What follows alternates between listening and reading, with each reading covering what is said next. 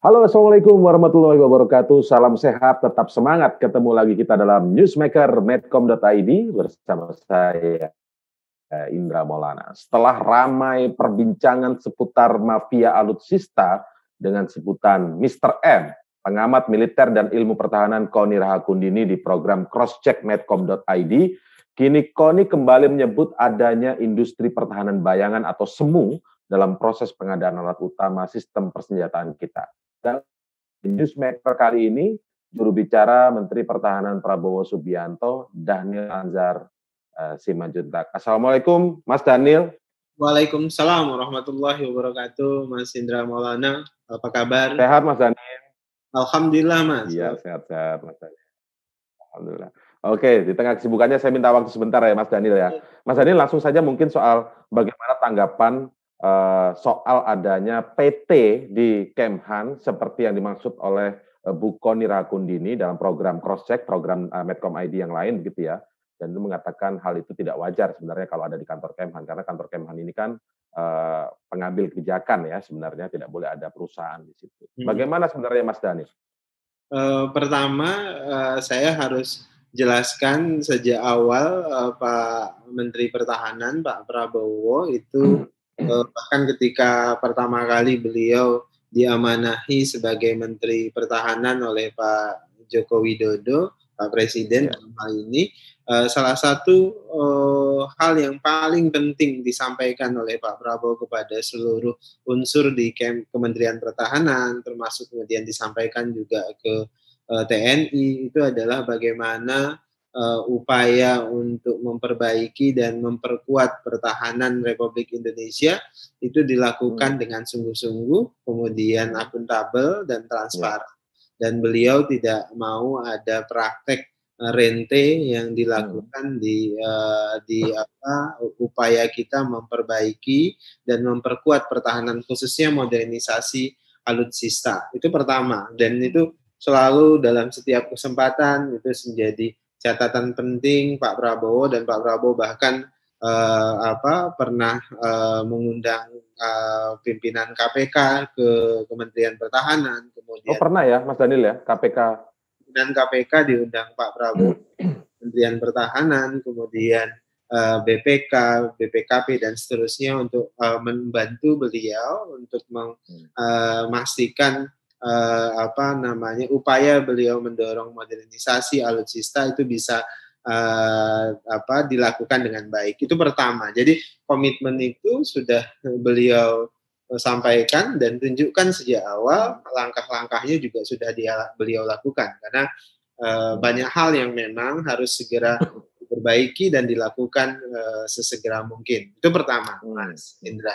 Kemudian ya. kedua terkait dengan statement yang disampaikan oleh uh, Bu Koni, uh, kita berterima kasih uh, apabila ada fakta dan data yang bisa diungkapkan secara terang benderang oleh Bu Koni. Misalnya ada mafia uh, apa uh, alutsista, alutsista ya. disebut sebagai Mr. M saran saya uh, beliau sebutkan saja Mr. M itu siapa dan uh, tunjuk hidung. Jadi tidak usah khawatir. Tunjuk hidung Mr. M itu siapa. Jangan sampai begini, Mas. Uh, saya latar belakangnya akademisi, saya pikir sama dengan Bu Koni. ya. Apa yang kita sampaikan kepada publik itu harus didasari oleh fakta dan data disertai dengan bentuk pertanggungjawaban secara moral kita kepada publik karena hal itu disampaikan Bu Foni uh, kepada publik, saran saya sampaikan saja Mr. M itu siapa, sehingga uh, ya, publik bisa tahu dan terang benerang. Jadi tidak perlu kemudian juga kemudian dibalikan ke kita.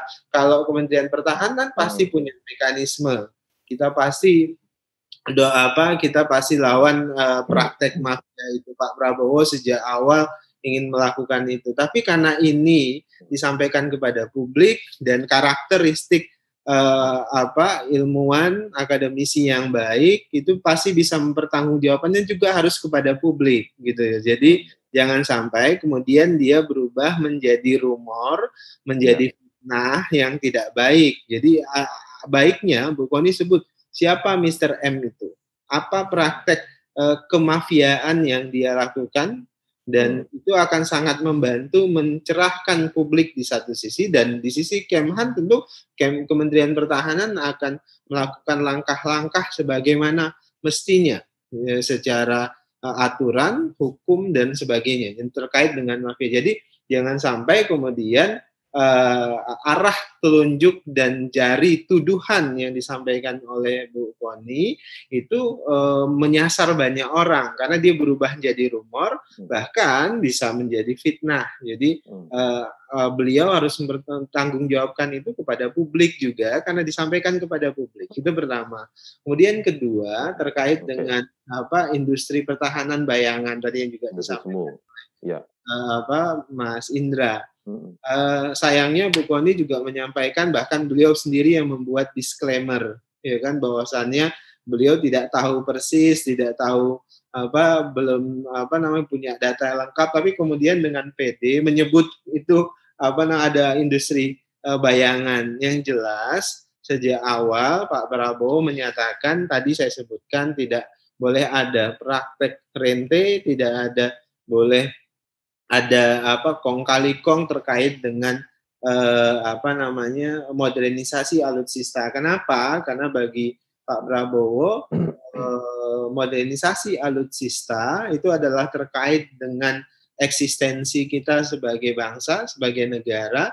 Makanya jangan main-main, apalagi ada praktek rente di situ. Nah, oleh sebab itulah eh, saya sekali lagi mendorong Bu Koni karena beliau menyebutkan ada ada jenderal-jenderal yang terkait di situ. Ya sekali lagi tunjuk hidung saja, jangan sampai kemudian uh, banyak para jenderal yang tertuduh karena di sini di Kementerian Pertahanan saja ada puluhan eh, jenderal uh, berbintang uh, satu, dua dan tiga. Jadi uh, tidak perlu apa namanya menyampaikan rumor dan bentuknya rumor dan gosip dan kita dukung uh, untuk disampaikan kepada publik seperti mana Bu Koni memang sudah menyampaikannya kepada publik.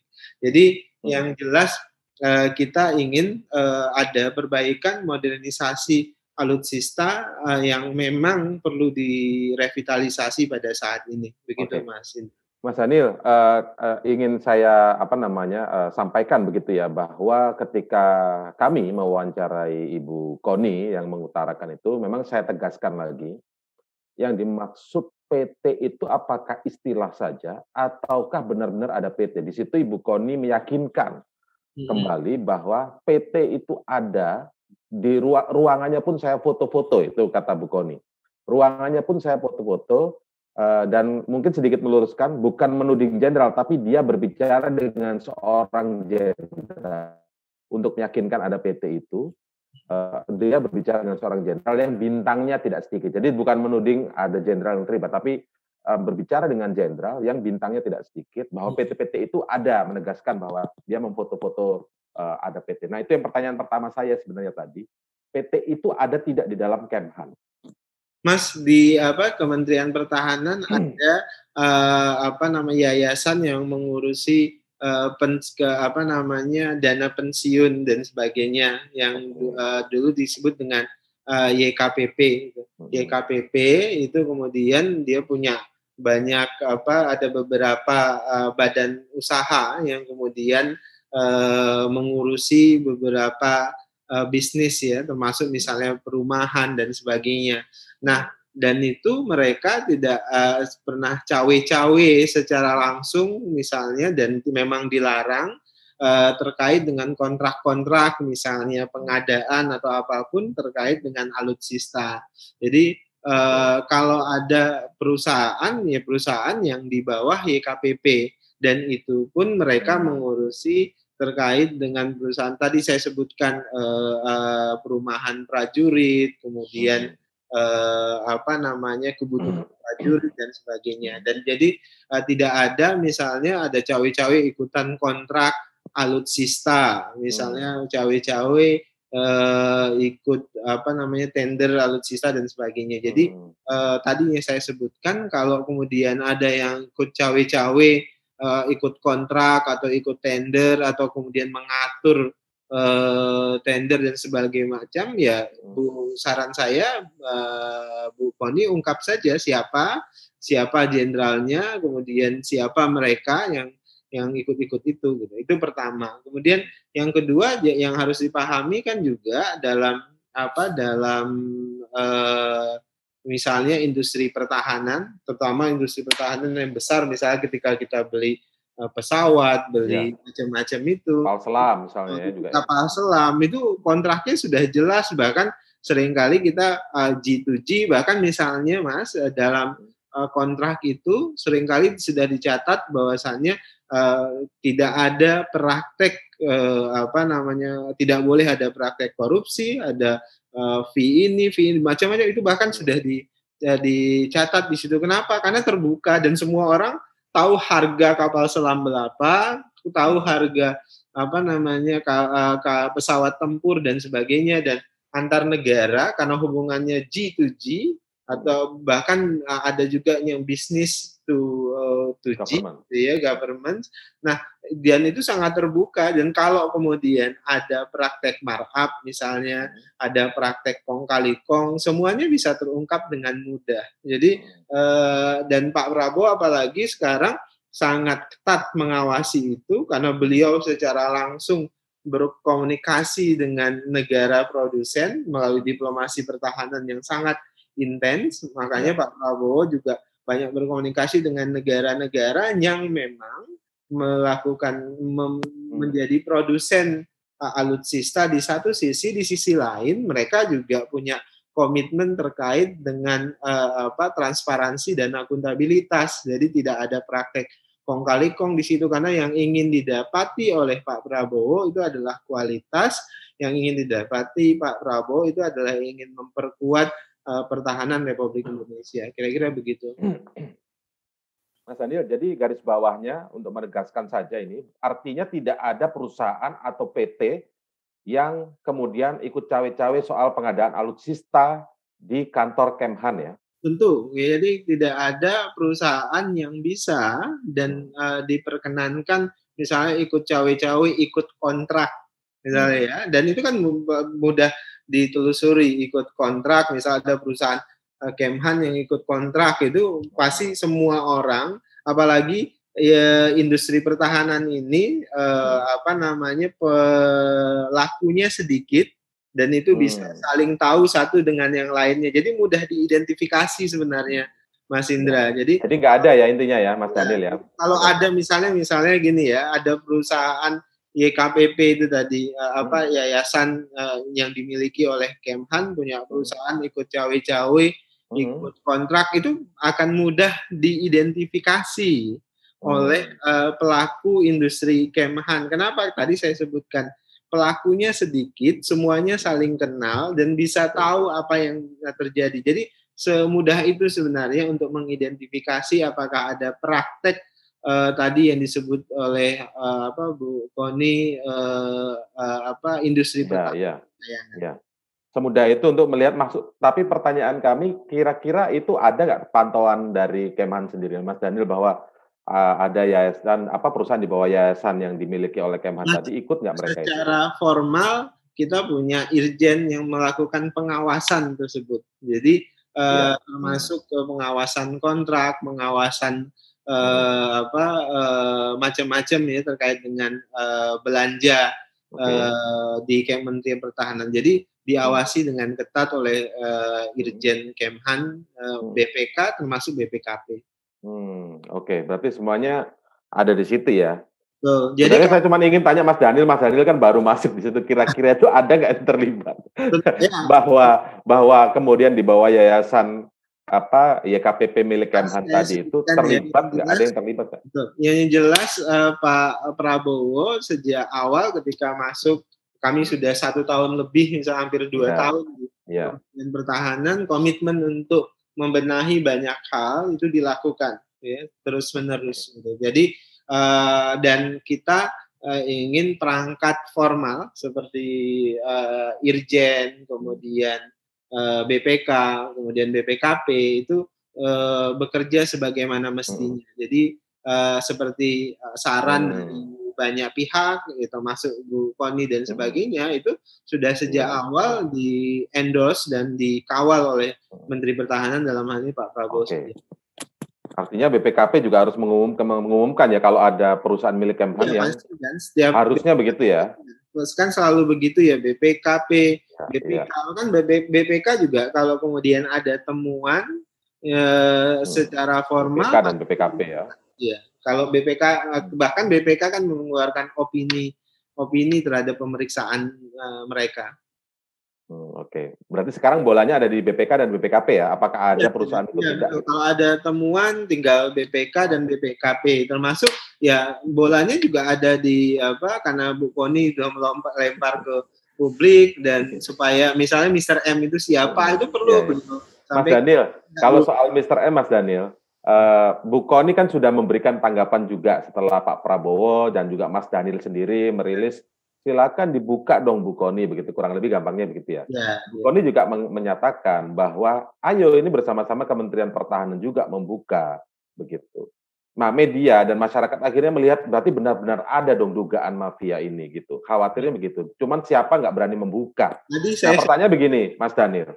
Kalau hmm. kemudian hal ini kan tidak hanya disebut Bu Koni, tapi juga kemarin saya wawancara dengan uh, Mbak Dani ya, Jaleswari Pramodawardani yang bersama Bu Koni juga menyebut bahwa Mr. M ini sudah lama ada. Artinya sebenarnya kalau kalau kalau dipahami tidak hanya di zaman Menteri Pertahanan sekarang kan artinya. Apakah demikian? Itu menurut menurut Mbak Dani. Itu juga pertanyaan kami. Ya, Mas uh, apa Indra, kami satu dua menjelang dua tahun lah sebut begitu di di apa di Kementerian Pertahanan ini. Kemudian uh, tentu semuanya berusaha kami perbaiki semaksimal mungkin. Pak Prabowo hmm. sekarang melakukan itu. Nah, uh, justru saya bingung Mr. M ini siapa. Mungkin karena Bu Koni sudah lama bermain dan paham uh, uh, apa namanya uh, di militer termasuk Kementerian Pertahanan dan kemudian alutsista segala macamnya beliau tahu bahkan beliau dengan uh, apa dengan uh, percaya diri menyampaikannya kepada publik Mr. M. Jadi bantu saja kami sebutkan hmm. juga karena sudah disampaikan publik ya sebutkan saja ke publik siapa Mr. M itu. Dan itu akan sangat membantu uh, apa kami dalam hal ini Pak Prabowo untuk uh, melakukan tindakan yang paling tepat tentunya terkait dengan siapa Mr. M ini. Karena kan uh, saya sendiri sampai sekarang bingung Mr. M ini siapa dan sampaikan saja ke publik karena sudah disampaikan publik dan kami ya, ya. dan kami bisa melakukan hal-hal yang sebagaimana mestinya. Jadi jangan kemudian dia berhenti jadi rumor gitu loh. Hmm. Siapa tahu kan hmm. Bu kelihatan ini kan lebih paham itu uh, Bu Koni Mr. M-nya siapa dan segala macam. Nah, kalau disampaikan kepada publik, sampaikan kepada kami, wah itu akan sangat sangat membantu karena uh, beliau harus juga uh, memberikan pertanggungjawaban kepada publik gitu. Uh, hmm. Mr. M ini siapa? Jadi ya. jangan sampai jangan rumor, jangan sampai nanti Mr. M itu ternyata M Indra Maulana misalnya. iya, iya. Oke, Mas Daniel. Tapi dari Kementerian Pertahanan sendiri, eh, ketika tadi dikatakan komit untuk memperbaiki semua yang ada di Kementerian Pertahanan ya, bersama Pak Prabowo, tadi Mas Daniel menyebut seperti itu sejauh ini menemukan adanya permainan-permainan itu tidak? Katakanlah mungkin bukan Mr. M lah, mungkin juga Mr. M itu hanya uh, misalnya Mr. M M karena Mr. kan M akan begitu, bukan mengacu pada inisial tertentu. Hmm. Tetapi sebenarnya itu kan menunjukkan adanya pemain-pemain yang cawe-cawe selama ini ingin mengambil margin atau untung begitu ibaratnya makelar lah ya itu ada nggak sih Mas Mas Daniel? Mas Daniel ini kan aktivis ya kan akademisi, sekarang masuk ke sistem. Ini yang publik ingin ya ibaratnya menitipkan nggak Mas Daniel? Ada iya. nggak itu Mas Daniel? Dalam setiap institusi negara bahkan di mana sumber ekonomi berada, kalau kemudian ada orang yang ingin mengambil keuntungan, kemudian melakukan tindakan rente itu pasti ada gitu ya eh, di apa pun institusi itu. Nah, itu yang ingin kita lawan, kita minimalisir dan Pak Prabowo komit terhadap itu. Jadi saya tidak ingin uh, apa uh, menjawab secara naif misalnya nggak ada begitu. Jadi um, upaya kita oh. minimalisir praktek-praktek itu harus harus uh, dilakukan dan itu yang yang ditunjukkan oleh Pak Prabowo pada saat ini. Nah, tinggal PR-nya tentu etiknya gitu ketika menyebutkan gitu menyebut ya, ya, satu ya. orang misalnya berani menggunakan inisial Mr. M itu ya harus segera dipertanggungjawabkan dan tunjukkan siapa. Jadi nggak perlu lagi ngeles yang saya maksud nanti Mr. M ini adalah mafia dan segala macam ya. Orang kalau sudah gitu ya. Menyebut misalnya uh, apanya inisialnya adalah IM, ya sudah orang kan mikirnya Indra Maulana siapa. Jadi orang ketika sudah berani, saya berikan contoh ya. ya. Faisal Basri saya ingat sekali karena uh, beliau sebagai pengamat kemudian uh, menunjukkan ada praktek uh, di satu kementerian hmm. satu kementerian terkait dengan praktek rente beliau dengan tegas menyebutkan namanya si A hmm. gitu itu dilakukan artinya seorang akademisi yang kemudian menjadi sumber informasi publik ketika dia uh, menyampaikan sesuatu itu terang benderang dan berani menyebutkan. Jadi jangan berani, jadi jangan melakukan uh, apa tindakan politicking. Nah, ketika menggunakan Mr. Hmm. M, nah tuduhannya itu kan ke mana-mana. Kemudian membangun framing. Nah, itu hmm. namanya tindakan politicking. Hmm. Itu bukan tindakan seorang hmm. akademisi, bukan so, tindakan uh, seorang apa namanya intelektual yang berani mempertanggungjawabkan apa yang beliau sampaikan dengan menyebut inisial, apalagi inisial loh mas, itu hmm. tindakannya bisa ke mana-mana tuh, bisa menuduh orang ke mana-mana gitu. Jadi hmm. Eh, saran saya eh, akan sangat berterima kasih kami dan sangat membantu, misalnya bisa menyebut siapa yang Mr. M itu. Ada rencana bertemu dengan uh, Bu Koni tidak Pak Prabowo atau mungkin tim dari Pak Prabowo? Untuk nah, kalau ini niatnya kan misalnya niat baik untuk membongkar ya. adanya praktik mafia misalnya ya. Artinya kan diundang dari, saja gitu. Mungkin ya, Bu Koni nggak mau menyebut ke publik tapi maunya menyebut langsung ke Mas Dhanil atau Pak Prabowo begitu. Bukan, harusnya nggak begitu cara komunikasinya Mas. Hmm. Kalau Bu Koni berniat baik ingin membantu Kementerian Pertahanan, misalnya ingin menyebut Mr. M ini siapa, itu sudah beliau sampaikan sejak awal. Okay. Tapi kan yang disampaikan oleh Bu Koni menyampaikannya ke publik. Berarti beliau harus mempertanggungjawabkannya kepada publik. publik. Okay. Bukan kepada Pak Prabowo. Jadi hmm. kalau kemudian misalnya Bu Koni datang ke saya bisikin Mas, Mr. M itu ke ini, itu namanya eh, Bu Koni tidak mempertanggungjawabkan apa yang beliau lakukan itu kepada publik karena beliau memberikan itu kepada publik gitu. Itu artinya sama halnya bu, ngajak saya berkong kali kong gitu namanya. Jadi oh. kalau sudah mau transparan, sudah mau nyebut ini ya tanggung jawabkan kepada publik. Hmm. Jadi kami juga ingin tahu ya dari publik. Hmm. Karena Bu Koni tidak menyampaikannya kepada kami, tapi kan menyampaikannya pada publik ya. Kalau begitu, ya. biarlah kami tahu dari publik. Ya. Tapi secara internal uh, Kementerian Pertahanan mau mencari itu tidak atau mungkin jangan-jangan tempatnya bukan di Kementerian Pertahanan begitu. Pertahanan berkepentingan mencari itu. Oke. Okay. mencari itu dan kami berharap Bu Koni uh, sampaikan saja ke publik kemudian supaya publik juga tahu kemudian kami tahu kira-kira begitu. Okay. Oke, dalam dia apa wawancara saya dengan Bu Koni juga ya di program Crosscheck uh, itu menyebutkan Bu Koni soal saya pegang dokumen soal rencana Perpres uh, 2021 sampai 2024 itu uh, harus menghabiskan seribu triliun, seribu sekian triliun begitu ya, saya lupa persisnya dan harus tiga tahun itu itu artinya nggak masuk akal. Mas Daniel punya penjelasan soal ini nggak tentang ya, RPLP? Sekali lagi itu pun uh, apa namanya halun, uh, halusinasi datanya tidak lengkap dan Pak Bu Koni mungkin baca uh, satu hal yang beliau sendiri tidak pelajari itu apa. Itu ya hmm. itu pertama. Jadi baru uh, dapat uh, snapshot misalnya ya ini kan sama ada tweet misalnya di tentang satu hal, nah kemudian itu dikembangkan sendiri dengan perspektifnya sendiri. Nah itu yang berbahaya. Yang benar, Mas Indra Maulana, hmm. nah, Pak Prabowo eh, sejak awal diminta oleh Pak eh, Presiden Joko Widodo itu untuk sejak awal ketika beliau menjadi Menteri Pertahanan ya, okay, itu yeah. membuat master plan, master plan 25 tahun ke depan. Jadi Pak hmm. Prabowo eh, disampaikan kira-kira begini kalau bahasanya Pak Prabowo saya pengen tahu kira-kira 25 tahun ke depan sampai 25 tahun ke depan kita bisa punya apa saja. Hmm. Alutsista apa saja yang bisa kita sediakan dalam uh, untuk 25 tahun ke depan. Kenapa Pak Jokowi dalam hal ini minta Pak Prabowo seperti itu karena penting untuk memperkuat alutsista kita, pertahanan kita sampai dengan 25 tahun ke depan. Karena kan gini Mas perspektifnya sederhananya. Hmm. Yang namanya uh, industri pertahanan, alutsista itu kan kalau kita uh, tanda tangan kontrak hari ini ya. baru bisa kita dapatkan barangnya lima tahun ke depan paling cepat itu paling cepat.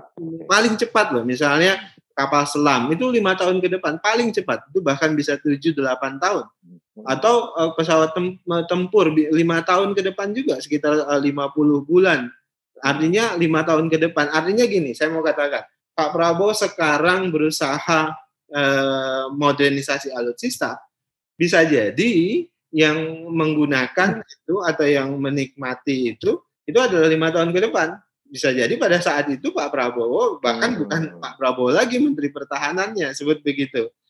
Nah pun demikian apa yang kita terima hari ini itu ya berangkat dari kondisi kebijakan eh, apa pertahanan pada masa-masa sebelumnya dan Pak Prabowo baru hari ini kan dua tahun ini melakukan apa namanya upaya eh, modernisasi perbaikan segala macam dan itu pasti akan kelihatan nanti kita lihat lima tahun ke depan dan seterusnya. Nah, hmm. berangkat dari situ Pak Prabowo melihat ada uh, keterputusan uh, apa namanya uh, program modernisasi alutsista. Maksud saya keterputusan itu adalah tidak ada konsistensi konsistensi dari masa ke masa terkait dengan upaya kita eh, apa memperkuat atau modernisasi hmm. alutsista. Makanya kemudian Pak Prabowo berdiskusi dengan presiden dengan eh, para para menteri yang terkait dengan pembiayaan dan sebagainya. Hmm. Kemudian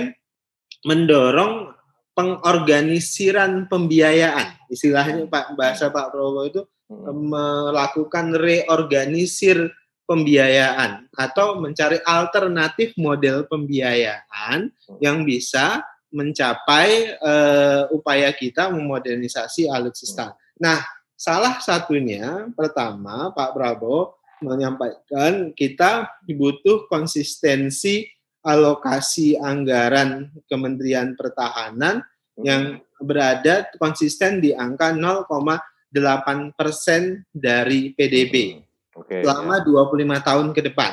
Hmm. Jadi itu yang nanti disebut dengan master plan. Jadi okay. Pak Prabowo di master plan itu atau kami menyebutnya sebagai rencana induk hmm. itu kita butuh konsistensi anggaran uh, apa uh, Kemhan selama 25 hmm. tahun ke depan 0,8 persen 0,8 persen atau di atas 0,8 persen dari PDB.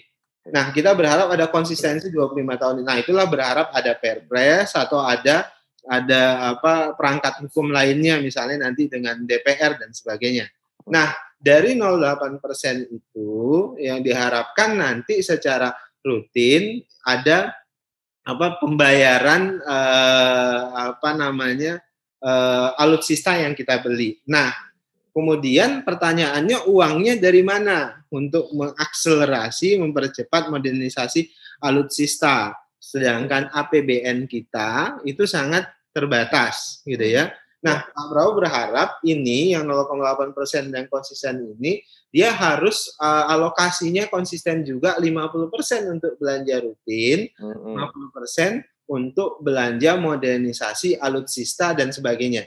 Nah kan selama ini kita habis bentuk banyak belanja rutin, rutin saja. Belanja rutin bahkan alutsista itu mas nggak sampai 25 persen bahkan kalau diturunkan hanya sekitar 10 persenan. Oh. Belanja alutsista kecil dari sih. dari 0,8 itu. Iya, iya. Dan itu hanya sekitar 9 triliunan. Dapat apa kita? Kira-kira begitu. Nah, karena eh, apa? Karena jangka waktunya panjang, maka ada opsi misalnya kan selama ini kita ada pembiayaan PLN namanya. Mm-hmm. Pinjaman luar negeri. Ya. Pinjaman luar tapi kan eh, komposisi pembiayaan selama ini PLN itu hanya bisa dipakai sekitar 80 persenan, tapi kemudian eh, 20 persenannya itu tetap dari istilahnya kalau di keuangan rupiah murni, artinya dari hmm. apa uh, uang APBN itu sendiri. Nah, Pak Prabowo berharap ada uh, PLN dalam waktu apa disebut pinjaman lunak yang waktunya sangat panjang, yang bunganya kecil, kemudian itu bisa kita bayar melalui 0,8 persen tadi yang konsisten selama 25 tahun itu. Nah jadi bukan apa namanya harus belanja harus habis misalnya 1.700. Jadi kira-kira ya, 1.700 triliun. 1.700 triliun bukan bukan model begitu tapi Pak uh, apa Kementerian Pertahanan hmm. uh, mengajukan kepada Presiden hmm. dan tentu Pak menggunakan perangkat hukum apakah Perpres nanti apakah hmm. yang lain supaya kemudian. Kita lima tahun ke depan itu bisa benar-benar memiliki alutsista yang ideal. Hmm. Nah, tapi kalau kemudian eh, tiba-tiba ada statement 1.700 harus habis Sampai 2024 uh, itu perkataannya seperti itu. 2024 itu keliru. Jadi keliru ya. Keliru yang benar adalah kita mendesain uh, oh. belanja apa namanya modernisasi alutsista yang konsisten setiap tahun. Nah, kalau dihitung itu sekitar setahun per tahunnya itu sekitar uh, 10 miliar US dollar hmm. ya sekitar kurang lebih 100 apa namanya 150 triliunan itu tapi dengan komposisi dua tadi saya sebutkan. Hmm. Nah, ya, ya, ya. itu diatur selama 25 tahun. Menggunakan PLN kita belanjakan misalnya sampai 2024 nanti hmm. kita sudah apa sudah dapat gambaran alutsista yang kita belanjakan Eh, keperluan sampai 25 tahun tadi.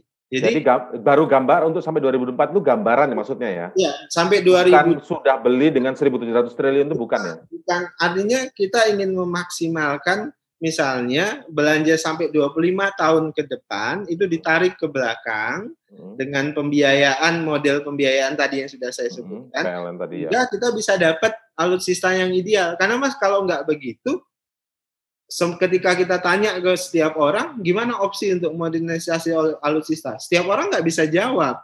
Kenapa? Karena tadi saya sebutkan karena modelnya adalah kita beli alutsista itu kebutuhannya baru bisa bisa datang misalnya lima tahun ke depan maka satu-satunya cara untuk untuk memodernisasi uh, alutsista kita kita tarik pembiayaannya uh, untuk 25 tahun ke depan belinya uh, apa tiga tahun dan lima tahun sebelumnya. Kira-kira kalau yang di, dimaksud oleh Bukon itu sebenarnya lebih pada begini, jangan gara-gara ada peristiwa Nanggala, lalu memang betul momentum modernisasi alutsista itu adalah penting dan urgent sekali demi apa namanya pasukan dan apa namanya tentara kita begitu ya. Jangan sampai mengorbankan tentara-tentara kita juga hanya karena alutsista yang tidak perform misalnya tetapi lalu kemudian dimanfaatkan momentum ini tiba-tiba dengan uang banyak, anggaran banyak, momentum untuk kemudian ayo beli yang banyak gitu. Bukan begitu ya Mas Adil, tapi lebih komprehensif berarti ya.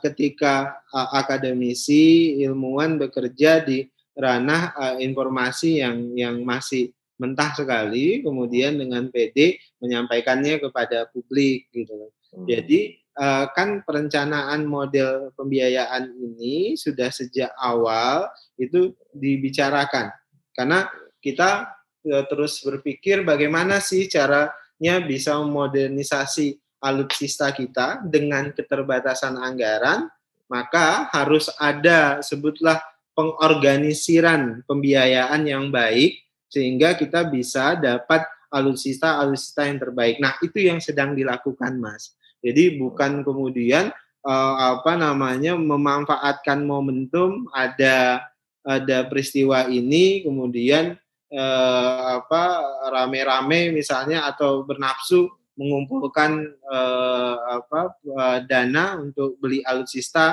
dan kemudian berpikir uh, apa tentang proyek alutsista dan sebagainya. Tidak begitu mas. Jadi um, saya sayangkan uh, cara berpikir begitu yang jelas eh, kalau bagi teman-teman di Kementerian Pertahanan atau atau sebutlah uh, ekosistem pertahanan yang selama ini terlibat secara langsung uh, diskusi-diskusi dengan Pak Prabowo itu paham betul langkah-langkah yang disampaikan Pak Prabowo tentang pengorganisiran belanja dan pembiayaan. Hmm, hmm. Oke, jadi ini sebenarnya perpres apa sebenarnya Mas Daniel kalau kalau ini masih dalam proses pembahasan masih dibahas misalnya nanti dengan tentu dengan Pak uh, Presiden dan semua kementerian, menteri terutama Kementerian Bappenas dan Kementerian hmm. uh, Keuangan. Nah, kemudian tentu juga nanti pembahasan dengan DPR. Jadi nah. ini oh, sekarang yang masih masih ya apa dibahas secara serius dan kemudian uh, oleh apa uh, pengamat seperti Bu Koni seolah-olah sudah sudah pasti bahkan ada agak tendensius dengan seolah-olah ada praktek rente di situ. Jadi intinya Perpres ini boleh disebut masih sangat mentah langkahnya. Artinya oh, belum final. Sudah, sudah terus dia apa bersama dengan Bappenas, Kementerian hmm. Keuangan bahkan dalam ratas sudah dibahas secara serius nah, langkah-langkah hmm. eh, apa modernisasi alutsista dan pengorganisasi perorganisiran pembiayaannya. Hmm, iya, tapi belum sampai menjelang akan diputuskan begitu ya, Mas Daniel ya? Iya, iya, iya. DPR belum mengetahui memang karena ini kan Bu Koni bilang kok sampai DPR Komisi Satu belum tahu begitu. kalau kalau sudah tahu pasti sudah diputuskan Mas kan. Jadi tadi saya sebutkan jadi uh, barang yang masih proses pembahasan yang uh, mentah uh, apa sudah sebutlah dalam diskursus yang panjang dengan berbagai pertimbangan tapi kemudian dikomentari seolah-olah itu sudah uh, apa uh, bahkan di em, diembel-embeli dengan uh, ada kecenderungan perspektif rente dan sebagainya. Itu yang berbahaya menurut saya. Oke. Mas Daniel sebagai penutup Mas Daniel, bagaimana sebenarnya ke depan tentang uh, apa namanya modernisasi al alutsista kita ini, alat utama sistem persenjataan kita ini dan konteksnya adalah strategi pertahanan kita. Apakah memang uh, kita ini masih sangat tertinggal jauh atau masih sangat perlu banyak sekali perbaikan atau sebenarnya kita ini sudah on the track tinggal nunggu waktu saja? Uh, terus terang saya, uh, banyak yang harus kita benahi dan itu yang sedang dilakukan oleh Pak Prabowo uh, karena fakta dan data menunjukkan uh, apa namanya pertahanan kita uh, masih menjadi PR yang sangat penting bahkan itu yang juga disampaikan Pak Prabowo sebelum beliau menjadi Menteri Pertahanan pasti Mas Indra mengikuti hmm. dan itu yang jadi komitmen Pak Prabowo pada hari ini.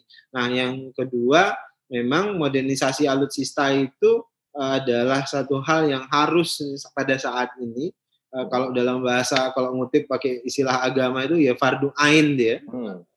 Harus dituntaskan. Kenapa? Karena memang uh, bagian besar alutsista kita itu sudah berumur uh, tua dan uh, kita harus mencari alternatif uh, apa namanya pembiayaan yang tadi saya sebutnya kan sebagai pengorganisiran pembiayaan istilah Pak Prabowo begitu hmm. untuk memastikan kita bisa melakukan uh, modernisasi alutsista tapi yang perlu dicatat juga uh, Mas Indra uh, terkait dengan modernisasi alutsista itu bukan sekedar tentang anggaran ansik tapi juga terkait dengan diplomasi pertahanan yang benar. Makanya Pak Prabowo aktif sekali melakukan komunikasi hmm. diplomasi dengan menteri uh, menteri-menteri pertahanan hmm. luar negeri, menteri-menteri yeah. uh, apa industri-industri pertahanan di luar negeri untuk memastikan bisa memperoleh alutsista yang terbaik karena uh, selain angga tersedianya anggaran, bahkan kalau uangnya sudah ada saja belum tentu barangnya dap dapat. Oh. Kita perlu diplomasi karena kita butuh clearance, karena kita butuh juga memahami geopolitik dan hmm. geostrategi hmm. uh, apa kawasan ya, kawasan, kawasan dan sebagainya. Jadi dia memang kompleks dan uh, kompleksitas itulah yang kemudian sekarang berusaha di apa dikerjakan Pak Prabowo kalau istilah kita itu kalau ngutip uh, apa namanya Bung Hatta itu mendayung di antara dua karang gitu. Jadi hmm. uh, apa selain berpikir bagaimana anggaran bisa tersedia melalui hmm. pengorganisiran uh, pembiayaan alutsista di sisi lain uh, terus berpikir dan bertindak melakukan diplomasi pertahanan dan memperhatikan geopolitik dan geostrategis. Nah, itulah upaya-upaya kita untuk memperbaiki kondisi pertahanan kita pada saat ini Mas Indra. Dan semua rencana besar ini tentu saja juga dibarengi dengan jangan sampai ada lagi mafia-mafia yang ikut iya. ngerecoki yeah. begitu ya Mas Daniel ya. Itu uh, coherence lah dengan semua itu. Jadi dia satu paket untuk upaya kita misalnya mengorganisir uh, apa anggaran di satu sisi diplomasi pertahanan dan apa namanya memahami geopolitik dan geostrategis tapi kemudian komitmen kita untuk uh, transparan dan akuntabel akuntabel juga harus hmm. dikerjakan. Oke, baik Mas Daniel Lancar Simanjuntak, terima kasih banyak atas waktunya memberikan jawaban semua tentang fenomena yang berkembang sekarang ini dugaan Mr. M, industri pertahanan bayangan dari langsung dari Kementerian Pertahanan. Terima kasih Mas Daniel Lancar Simanjuntak, juru bicara Menteri Pertahanan Prabowo Subianto. Assalamualaikum warahmatullahi wabarakatuh Mas Daniel. Ya, itulah diskusi kita di Newsmaker Medcom.id untuk edisi kali ini. Saya ucapkan terima kasih Anda masih terus menyaksikan Newsmaker. Saya Indra Maulana. Sampai jumpa.